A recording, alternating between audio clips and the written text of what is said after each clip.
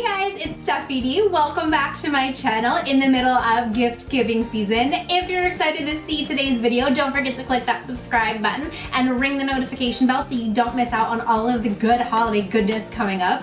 I'm so excited. So today's video, we're gonna be making something that is so fun. I think it's one of my favorites so far. It's very personalized and very creative. We're gonna be making photo candles. You can print any photo you want on here. It melts into the candle. These are such a great gift idea for anyone on your list. You can make different ones for everyone and that's the beauty of it. You can really make anything you want on here. Just print out the pictures that you want and it's up to you. They're so easy to make. You're gonna fall in love with this just like I did. As always, full instructions for this project will be on my blog, stephiedeecreates.com. Links to all the products I used in this video in the comments below. I am just obsessed with this. I think everyone on my list is going to get at least one photo candle. Maybe not of me, maybe of me. we'll see what happens. Anyways, I can't wait to show you how to make these, so let's get started. Come craft with me, Stephie Dee. Here's what you're going to need. A plain white candle, tissue paper, wax paper, a blow dryer, plain printer paper, and scissors. The first thing that we're gonna do is tape our tissue paper onto our plain printer paper.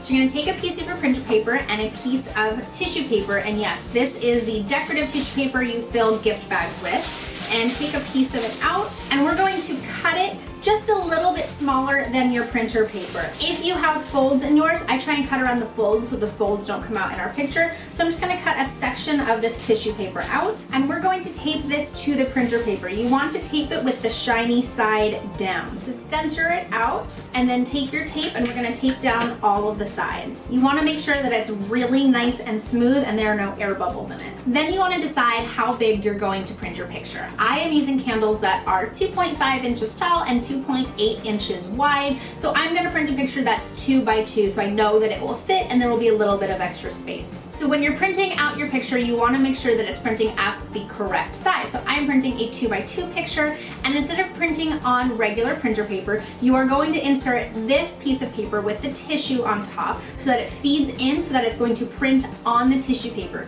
Don't worry, it won't get stuck. As long as you've taped it smooth, it will be fine. And if you're worried that it's not gonna print on the tissue, make sure that it's centered in the middle of the page. I have printed my picture. It is in the middle of my page to make sure that it's on the tissue paper and it's my two inch by two inch size. So the next thing that we're gonna do is we're going to cut it out. Cut it out from the regular paper and the tissue paper and you wanna cut it pretty close to the edge of your image.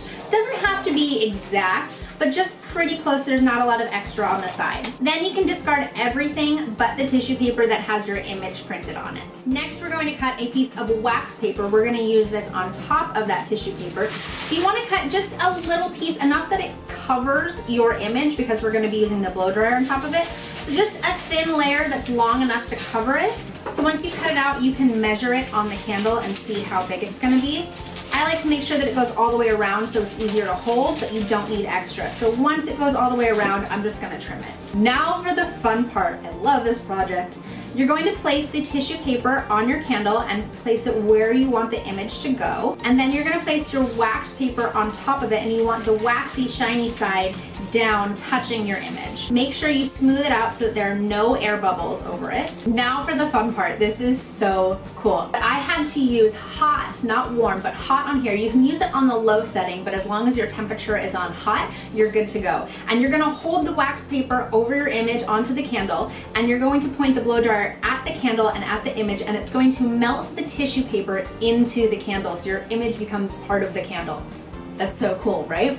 It's going to take a few seconds for it to warm up and really start to melt, so just keep blowing it and you'll see that it'll almost start to look wet. Be careful when you're blowing at your fingers, it's gonna get a little bit hot, so make sure that your fingers are out of the way. Make sure you get all of the edges of where you cut. You don't wanna have any tissue paper that's on there that didn't get melted. As you can see, my image has gotten a little bit darker now that it has melted on, and when your image is completely saturated and looks wet, then you're done, and you're gonna slowly pull your wax paper off of your candle and you're gonna let this dry for about a half an hour. I know it's really tempting to touch it and play with it, it's wax, but you don't wanna ruin your image. So just don't touch it and let it dry. Once it's dried, that's it. Super easy, right? And how cool is that? You can put any picture you want onto a candle. I may even make these as gifts for my wedding as wedding favors because these are so cute. I can print them and have the date on there, but these are just such a great personalized idea and an excellent gift for Christmas.